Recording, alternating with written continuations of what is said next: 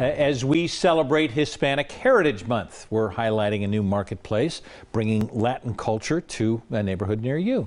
Yeah, it's the brainchild of Annette Vasquez, who moved to Columbus four years ago. And just months into its inception, NBC4's Matt Barnes learned it's opening eyes and doors that may have been previously closed very important to to to know where you come from to get your culture especially for our kids the next generation. Annette vasquez is a woman on a mission a mission to bring more of her latina heritage and culture to central ohio. When i used to go to mexico we would go to la plaza which would be or el mercadito which is you go full of color full of life full of music.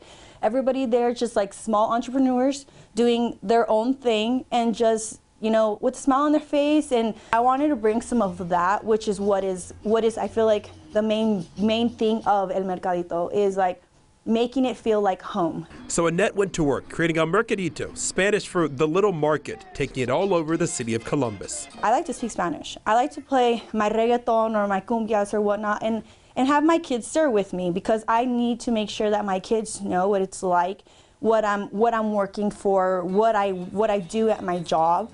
And so when I came up with this idea of like, you know what, I'm gonna do my own market. Along with her flower shop, Flower Daisy, Hispanic vendors are now able to showcase their small businesses in a comfortable setting. But more importantly, it provides a place for people of all backgrounds to gather and immerse themselves into the vibrant Latina culture. That's what I want the mercaditos to be like. You know, I want people to come and come shop but not come and shop just to, to shop. I want them to learn about the culture. I want them to feel at home and welcomed and just, you know, it just be inclusive into us. The next Mercadito is October 23rd. It will be in German Village at the Stewart Elementary parking lot from noon until 6. And just like the Mercadito this past week, they will be accepting clothing donations for One Divine Line to Help, a nonprofit organization that helps survivors of sex trafficking.